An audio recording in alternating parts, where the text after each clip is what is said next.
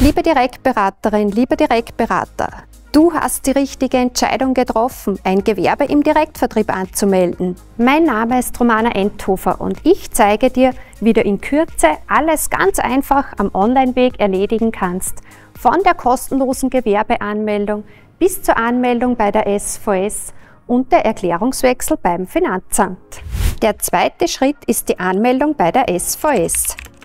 Die meisten Direktberater starten nebenberuflich und als Kleinunternehmer.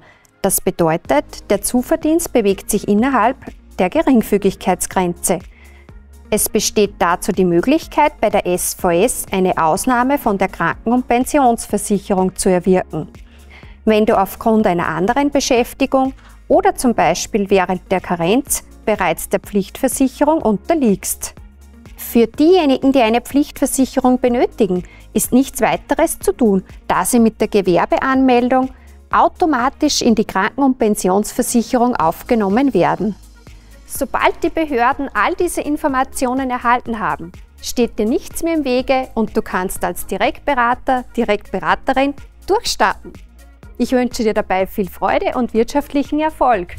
Solltest du dennoch Fragen haben, kannst du dich gerne an mich wenden oder an das Büro des Gremium Direktvertriebes der Wirtschaftskammer Oberösterreich.